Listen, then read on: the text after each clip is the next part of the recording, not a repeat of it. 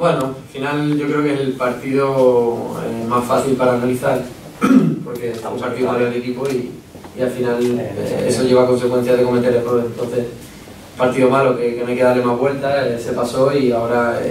quedan los tratos finales. No, si al final, después de llevarte un mazazo de tal, al final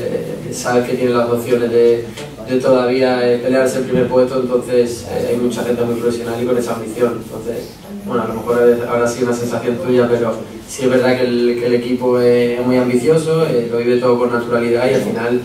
eh, eh, quedan, como digo, esas dos semanas que hay que apretar y a lo mejor por eso ha un poco más de, de seriedad. Sí, al final eh, mm, allí ya nos complicaron nosotros, empataron, si no recuerdo mal, la primera vuelta con- contra ellos, entonces,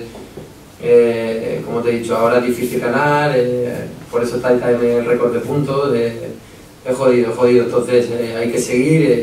y intentar eh, nosotros hacer nuestro trabajo y, y esperar que, que los demás no lo hagan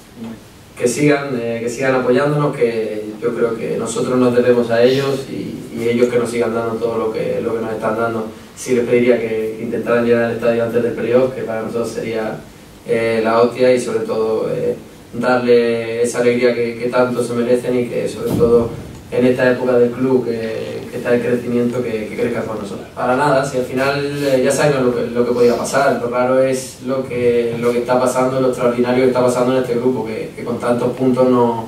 no seas capaz de ser campeón. Entonces eh, hay que ir a tres partidos, a tres partidos. Eh, a una, a una eliminatoria, pues a una al final eh, lo que se trata de, de ascender, de volver al club a, ese fútbol profesional y seguir creciendo.